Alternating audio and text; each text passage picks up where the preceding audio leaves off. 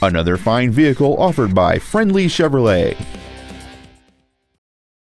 This is a 2010 Chevrolet Cobalt. It features a 2.2 liter four cylinder engine and an automatic transmission.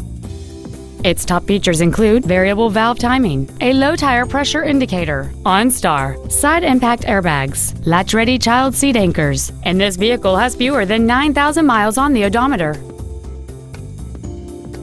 With an EPA estimated rating of 37 miles per gallon on the highway, fuel efficiency is still high on the list of priorities. This Chevrolet has had only one owner, and it qualifies for the Carfax buyback guarantee. Please call today to reserve this vehicle for a test drive.